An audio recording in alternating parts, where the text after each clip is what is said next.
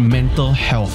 Why am I so scared of confrontation? I was afraid to face myself. It was convenient to just lie to myself and lie to others. My brain always likes to self-sabotage or like invent problems that don't exist. If I could turn off that voice, right, my life would have been would be so great. Eh. Stresses me out every single day.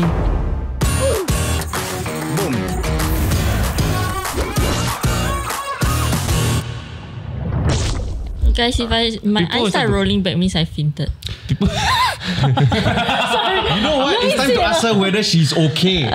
and in today's episode, we want to focus on mental health. I think it's a topic that is somewhat difficult to talk about. Like, I think for the older people in this cast, which are all of all us, of us. like we've gone through uh, a large period of our youth trying to navigate this, right? And I think we've also been quite fortunate to be in a time where this has become a, a, a very key focus for a lot of us. So, hmm. okay, I know I'm rambling already. wow, that's great self-awareness, which is part of mental health. And we believe that it's time to change the conversation, particularly for our youth who are facing pressures and challenges that previous generations never had to contend with. Hmm. Agree, agree, agree? Hmm. Oh. Yes.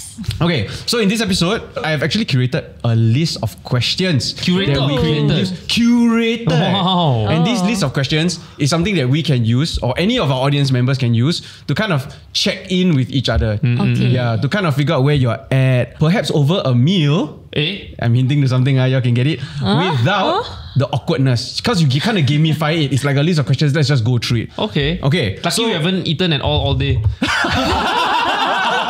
So hungry. Is this the same group that did the checking in I on think each other so, thing? so Oh, yeah, every- let me. Yeah, yeah, yeah, yeah. So again, we're gonna check in We with each are other. But this time back. round, we have we have what? McDonald's, guys. Oh! we're gonna do it over a meal. Singapore's favorite takeout. Thank you, man. What do we have? McDonald's has kindly delivered us our favorite meals. So, shall we give it out and then let's start with the questions, Is okay? it a Very, very surprise? nice. I haven't had McDonald's in a long time, sir. I'm actually very excited. I actually Same. eat it every week at least three times.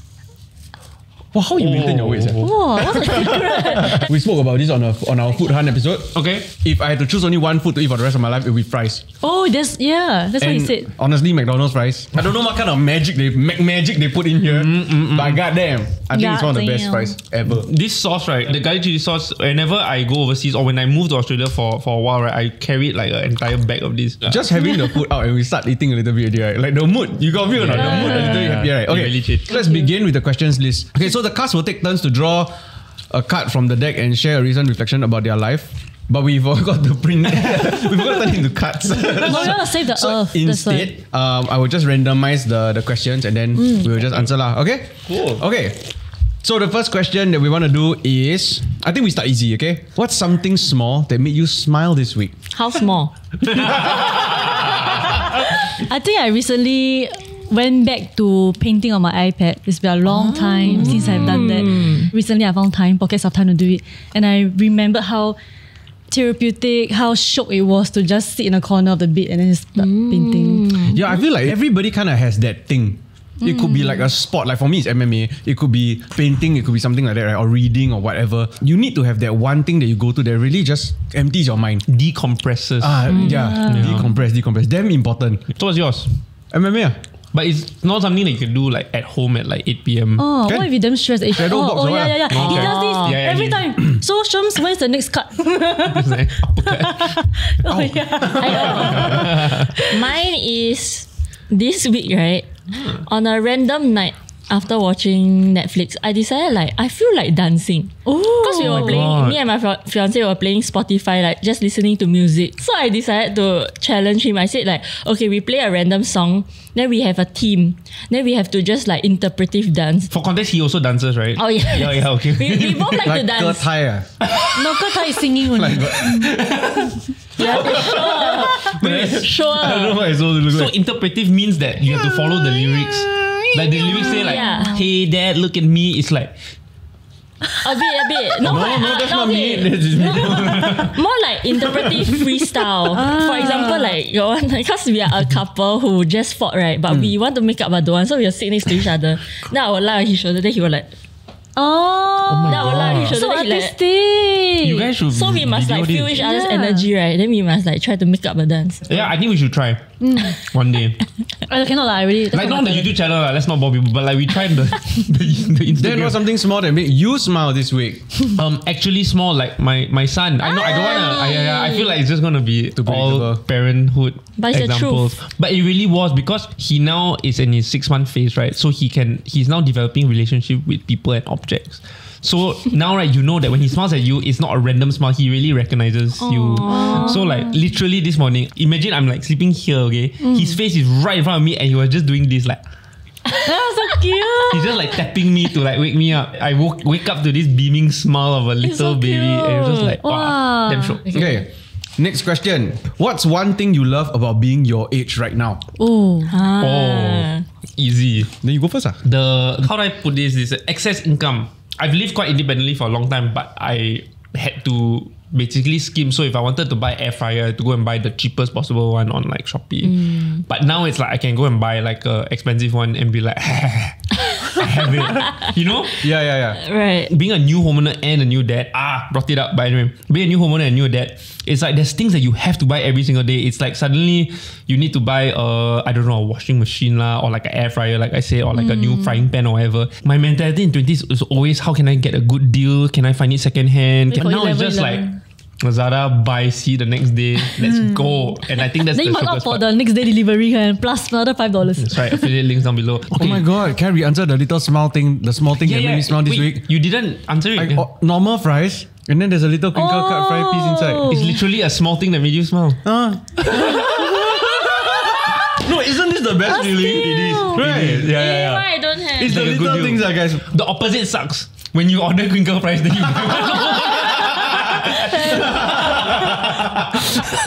And I know y'all keep teasing me about my age thing and how I usually just play up the whole I'm very sensitive about age thing, right? You're 33, right? Sure. Despite that, right, turning 30 soon, I think it gives me like a, a feeling of liberation. Oh. Actually, there's no rush. There's no like, oh my god, I must make good connections. I must play hard. I must work hard. I must be something, something, something mm. by 30. So to build off of that, right? Mm. I actually found this post that was quite interesting, and it's it's indicating that like this is what really matters over every decade of life. Oh. In our teens, what most people think is important is being cool, popular, getting good grades, social media presence. But what is actually important are things like strong family connections, uh, laying groundwork for strong mental health, finding your own identity. Okay. Yeah, and I thought like if I were a teenager or even in my 20s or whatever, and I see something like this, right, it makes me reflect a little bit about my own life and what am I really focusing on. So, um, Wait, ah, can you wipe your mouth? Why? Oh, so what you think is important in your 20s? Thank you. Finding a picture perfect partner, Oh. this is what choosing your think. permanent career path, and traveling the world. Ah. These are what See? you think is important, Yeah, but not important. But this is what is actually important, and I think it bridges off like the the earlier ones also lah, which is deepening family connections and boundaries, prioritizing mental health, which is something that many people actually neglect. Um, living according to your own values. I was gonna say the, the step before that is actually identifying what your values are. Because I think mm, mm, mm. even now, I do- actually you ask me what my values are. I I I know I have some principles, but I actually can can't name you like oh A B C D. These are my values. My therapist actually gave me a technique. Okay. So there are these like charts, right, with a list of values and their descriptions. Right. So the technique to narrowing it down is you identify 10 first, then you narrow it down to five. Then you Right. see whether you want to narrow it down further. And then those are the ones that you strongly resonate with. Most likely those are your core values. You have something to build off of. Okay, okay. Yeah. Um, healing attachment styles to attract a healthy partner. There was a period of time I was very into this attachment style thing and like schemas, which is Wait, like, attachment style is in like the avoidant, yeah. anxious, secure, that kind of Yeah, stuff. because Okay. I, I know that I am avoidant, but I don't know why. So I, I want to like look into it, like why am I so scared of confrontation, that kind of thing. Mm. So I went in the deep dive, like in my only in my like maybe 20, when I was 25 into all these things. And I feel like it really helped lah. But when I was like 21, I keep focusing on like mm. making other people like me. Mm. Mm-hmm. Like I keep wanting like, oh, will I impress this guy on a date? Will I seem cool to this person that they want to talk to me? Still then there. I realized like I should focus on myself ma. And like like myself first before I go Yeah. date other people. Yeah, I, I think one of the biggest struggles for most peop- younger people, right? Whether it's, and I think it applies to both relationships as well as like mental health, right? Is that you don't have frameworks. And because you don't have mm. frameworks, like what you're talking about, you don't know, you want to focus on yourself, right? Mm. I think a lot of people know that. Like, go and love yourself first, but they don't know how. They don't know mm. what to focus on. And I think Yeah. now, obviously, with so much like access to all this kind of stuff, right? Frameworks is one of the key things. It kind of guides you, it helps to shape how you can think and what you can think about and show you more linear paths to help you understand yourself better. But that should act like a guide, lah, not like a absolute truth. Yeah, something. the, the worst thing you can do is identify with and then just like, that is Yeah. me already. Yeah. Yeah, yeah. Next question. What's something that has been on your mind lately? Hmm. I come to realize that every time I'm in a really objectively good place, like when I really do an audit, and I tend to do it like maybe once every three months, my brain always likes to self sabotage or like invent problems that don't exist to always constantly put me in a state of stress. Oh, I think it's I'm an exactly INFP thing. It's a INFP thing. No, because I also like that. Like yesterday we met Alan Wu, right? like maybe something like I like, oh my god, did I offend him or should I have asked him this in this way or like was I too ditzy? And then it will just keep me up at night, like, oh my god, what am I doing? Until I sleep at like 5 a.m. that kind of thing. My God. Like I'll just stare at the ceiling, right? And then just these thoughts like non-stop, blah blah blah blah blah. Then I have to like watch TikTok, right? Just to shut my mind. Yeah. Honestly, right, if I could turn off that voice, right, my life would have been would be so great. Eh. Yeah. Really, it stresses me out every single day. Mm-hmm. What I do is whenever I catch myself overthinking, right, I will try to do everything. I try to think everything right at face value. So let's say oh, I think I'm not sure if I said this to Alison. Alison today a bit blackface to me. But number one, did she explicitly tell you that she doesn't like you or she doesn't say don't like something about what you said? Mm. No. So I shouldn't react to that. Mm. As long as I did my part to communicate well, then I think I'm okay until Alison tells me mm. otherwise. Like trust the yeah. facts, ah. yeah, it's actually really good advice because I, I used to suffer from this socially for the longest time and like I actually until I had to Google like help me I think my Oh, friends hate me and then Google came out Googled with help like, me? I mean like one of the first few like responses was like if no one has told you don't like don't believe it's true lah like you're only inventing that in your head and I think that's the one thing that the one mantra I keep repeating and telling myself I've been using ChatGPT, right? Oh. To help me understand my life. to be like a therapist You're the overthinker here, right? Damn hardcore. By ISTP. ah. So, so all of us wait the free version or must be paid one Free. ah so the free one also good Is there an Okay, example? Can tell us the prompt? so let's say I'm having an interaction with somebody, right? And then I don't know whether I'm being rude. So I will copy the chat, Okay. put into ChatGPT, and then Yeah. I'll just ask, Is this was I being rude yeah, was I being rude or how could I have communicated this in a healthier way? Wow. And then the, the they will reply to me and they'll point out, okay, this wasn't phrased so well. Um, you were showing frustration here, but you could have rephrased it to to actually articulate it this way, and then you, you most likely this person would have been more receptive. holy Yeah, stuff like that. Oh, that's so helpful and scary at the same time. So ChatGPT It's also the whole has a lot of biases on Yeah, yeah, yeah. Yeah. But this is more of like for you to reflect and think of things that you're otherwise not thinking about. Because sometimes when you're emotional, Yeah. you can get caught in your own like your own Web. head. ah. Yeah. So this one helps to declutter a bit, helps you to refocus. And I think a lot of times also is refocusing on problem solving.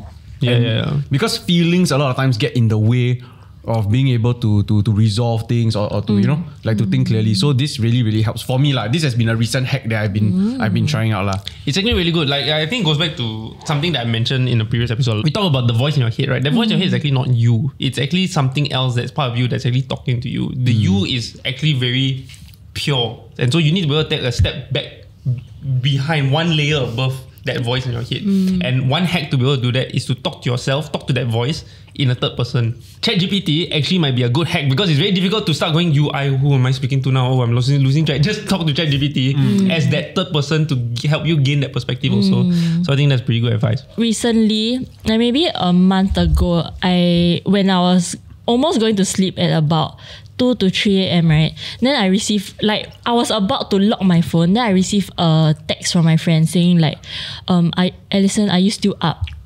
Then I was like oh. Then I just replied hey what's up? Like what happened? Then he said like he's having an anxiety attack now Mm, and like he doesn't know what to do. Oh my god. but then suddenly I was very logical. Like I took all my knowledge of my one to two therapy sessions, right? And I just like, talk to him.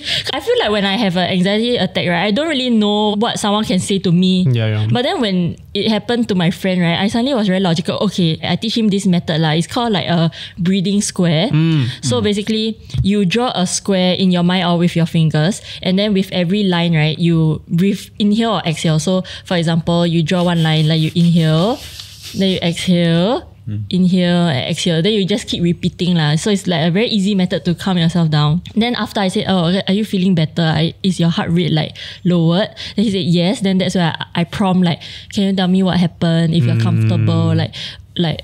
What what got you thinking like this or like what what do you think about this and things like that lah to prompt him to like express very good. himself. Through that session, I also learned that sometimes it you forget to check on your friends. Yeah. Like you you usually only think about yourself, ma. You don't really think about your friends' mental health if they are looking like fine or they seem to be doing well in their job or on social media. Like if you see them go for a concert, right, and then they look very happy, you won't think like they are depressed or or they are sad in that moment, ma. And then it remind me like, oh my god, I have not checked on this friend um in a long time. Like we do meet, but it's always like fun and laughter, and we never really talk about very very like heart to heart things. Mm. So if you do have a chance to like prompt them, like if you just ask like, oh, how are you? Even though it's like so minute and small talkish, right? It might like open a bigger conversation. lah. Like you don't want to wait until your friend has like an anxiety attack or is in a dire like mental state, then they reach out to you. Or mm. the worst is like they don't even reach out at all. I think it's a good step, and I think you it's better than not doing it. But like sometimes randomly just asking someone like, "Hey, you okay?" Like I did with you before shoot, but it always goes, "Huh? Why? Yeah, you know, you know, like mm. everything's okay, what? And then because maybe you're just catching them in the moment where they're actually really okay, and then that kind of throws you off. Like that makes you kind of not want to ask ever again. Oh. Yep. Yep. But don't let that throw you off. No, which is why, right? I do think that like this list of questions that we curated, Yeah. I think they are more helpful because they kind of guide you towards specific things that you want to think about, Yeah. specific areas of your life that you want to kind of like explore. Um, not only are they about like just talking about like uh, sad stuff, what's troubling you, right? But it's also But very important that some of these of the good questions are yeah, reminding you of good things because a lot of the time, right, it's it's that ma. Yeah, yeah. If you, you need to focus on the good things, or only focus on and think about the bad things, right? Then you, you you're not gonna get anywhere. You know what I mean? You know what they should do? TV stations or cinema, like theater operators, right? If you really want to do like a CSR campaign, during the commercial breaks, where it's like usually five minutes long, or the ads at the start, right? Instead of selling these ad spots, just put a prompt there for families or for whoever is coming together, right? To just have a two minute conversation. Then after that, you watch a horror movie, like the person about, about to cry, and then suddenly, So what made you smile lately? Oh my god, that is a great ad for the horror movie Smile. oh, there you go. Yeah, yeah, yeah. Okay, next question. So it said that once you hit your 30s, your identity will revolve around one or two hobbies. Do you all think that is true? Oh yeah. I have this like smaller group of friends right, where we really talk about like hobbies and shit. Okay. So like in my in my circle of friends, we have like two that are really obsessed about cycling. We have one that's the grill guy, like grill daddy, loves grilling. then randomly one day, I just said, "Hey guys, for those who have now owned their own homes, have you like ever prepared for doomsday? Like just like created like your your little go back?" Or then they all just went, "Oh, so this is your identity now." you know? So I was like, "You had like Doom's some daddy. all our friends was half joking but half serious was like then I think you need to decide whether this is going to be your personality for the next 10 years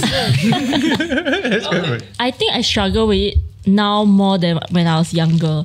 I feel like when I was younger, I could safely retreat to a easy identity. Like- Student, Uh, dancer when I'm still active. Right. Um, like oh, I'm in uni now, or I can I'm an intern. But I feel like once I start working, right, I I don't really know what to identify as other than an adult. When I retreat to those kind of safety like student and whatnot, I don't mind because I feel like I see a future for myself, and then I can build more ident- better identities for myself next time. You know, Yeah. or to be something time. like a, a kind like wife, for example.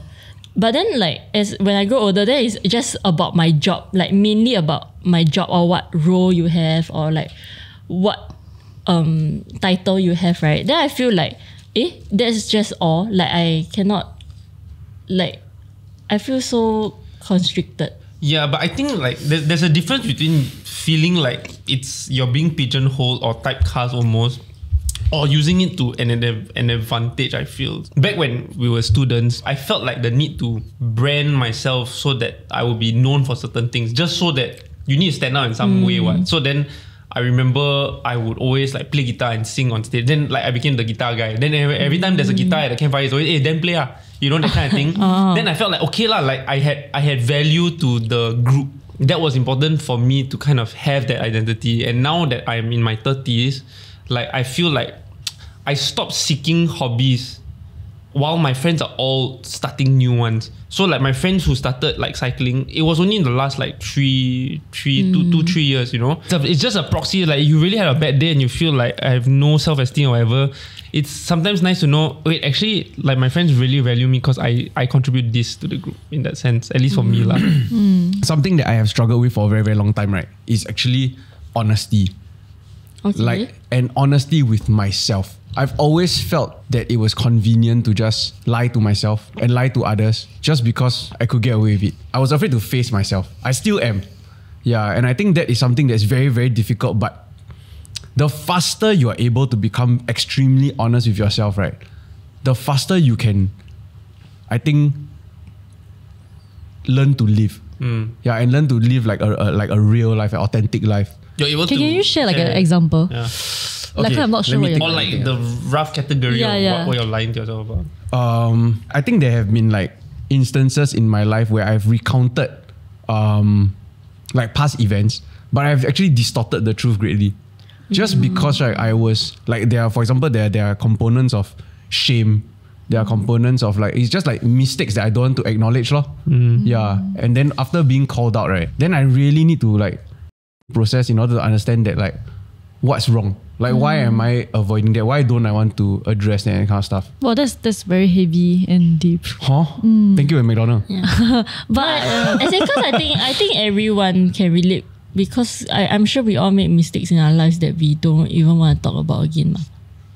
Mm. Then we just like like just think that if we don't talk about it, it won't be true. The bad part about that is when you hold it in for too long, right? Because you haven't like closed that chapter. Yeah. Like you never acknowledge the shame of that chapter and you never acknowledge the mistake, right? When it piles up, right? Slowly and you don't realize it until one day it bursts right in your face, right? when it suddenly pops in your face, right? Then it will be a very jarring thing. Yeah, yeah, yeah. Because I think everybody want to run away from a problem, sure. But then when you let it roll down the hill, right, it will get bigger, bigger like a sand bomb. ah. Yeah, yeah, yeah. How about personally when you're when you do check-ins? Are there any specific things you all do in your check-ins? When I meet my friends for a check-in, right, I, we will always ask each other, do you want advice or do you want to dump? Before that, right? Do you all know that you're all meeting for a check-in? Yes, like catch up. So it's Like like, the daily catch-up. There's a there's a chat group and it's like guys, I need a catch up. Then everyone know we are going into I think heart to heart mode. we created a space where it's very chill and very open to talk about mental health. And I got this friend who likes to end the session with a hug. Like, mm. because she's very like She's physical hugger. contact Physical love touch is kind. the. Uh, Mm. So we just end with a hug. Now I'm like, okay. Why is it Alisa not hugs like comfortable? that. Alisa hugs like oh, that. by no, not that I'm not comfortable, but I don't offer hugs like like at the top of my mind, like, oh my god, I want to hug you, that kind of thing. Okay, But she's okay. that kind of person. I used to be someone who always like was a big hugger until Same. there was one incident right that just scarred me for life. what? I basically knew somebody who um, I went to uni in Australia and she was someone that I was friends with in class. Uh, it was like my last semester already. And then I randomly saw her at the mall. And I just went, Oh my god, hi, it's so it's so good to see you. Like it's been so long. And she's like, Yeah. Yeah, yeah, yeah. So she's enthusiastic also. Yeah. But I didn't realize that she's just not a hugger. Oh, then she's just like that. So like I literally just went like, hey, it's good to see you, and then I'm leaning in, and then she's just like turning away, and then I meet. So I don't know, like it's too late to back out. oh, so Oh, I you literally just hug a person like this who turned away, like like you turn behind. I'm like hugging like this. Ah, then you got kiss the back of her head. you might as well already, right? At this point. it was so awkward, and then I like, yep, by like, like I faster just got Yeah. the. Uh, out there and from then on I never ever open my arms out for hugs anymore. I just I Yeah. wait first. Somehow you reach the the angle where you cannot recover easily. Correct. If it's still like that, you can like woo. And I was way taller than her. like, hey. But then he's already at No. the bending Yeah, stage. I- then maybe he can just like. Yeah, yeah. It was exactly that because he was like short. So, so I'm like, I'm literally like this. Yeah, this is the point of no return. Yeah. Like this. Yo. this eagle. you can do a front flip lah. next to her. something. okay, guys, it's time for painting of the episode. So today we have a painting by. Wesley Xia. It's absolutely beautiful. and it's called Rooster. Honestly, right, like it's so underrated. I know a lot of people look at it like, hey, very simple, right? But it's all about the negative space, and you'll be even more impressed if you hear about his condition. He's actually blind on one eye and has limitation on the other eye. Eh, so it's really quite crazy. This is my favorite painting that I've seen so Ah. far on the show. Yeah. it reminds me of those porcelain bowls that has a rooster on it. Yes. And if you want to get paintings like this, a meaningful artwork for your home, you can join us on 19th of October, October. at Tampines Hub. Correct. We'll be there and we would love to see you there. yeah. Not your Tampines Hub. Our Tampines Hub. Let's go. And I think we've kind of come to the end of the episode for today. We hope that the stuff that we've been able to share is of use to you guys. And I think one thing that is, I guess, a little bit of a challenge um, is that how do you initiate a check-in? Like, let's say if you don't have people around you, that kind of stuff, right? Yeah. Send them this video, guys. Oh. Start with this video and the checklist we will paste below. So the questions you all can go and ask. And also, of course, a big thank you to McDonald's for this delicious meal and creating an opportunity for us to have this get together. Thank you, Hey, McDonald's. thank you so much. McDonald's actually has a new song that they just released uh, called Lovin' Me. Okay. So Not go and check it out. Okay. I think the link will be in the description box below. McDonald's actually also has a youth mental wellness page. Wow. Okay. Oh, I didn't even know, but you can check it out here. It's right here right now. Um, if you don't know where to get started, oh, okay lah. So here also lah. Or this video also lah. Hey, both also can. Hey, Yeah. let's go. Uh, if not, like, share, subscribe. We'll see you guys in the next one. Adios, muchachos. Adios, muchachos. You ever use your hand, right? Then you wipe on Yes, the it's like you thing. wash, right? you have to what? What are you talking about? All the time. Then you share the cup with your friend, then you like. No, my pet peeve, right, is when I go eat with my friend, then they go use my cup to wipe the hand. I'm like, Wow. That's a yeah. Oh, that was damn harsh.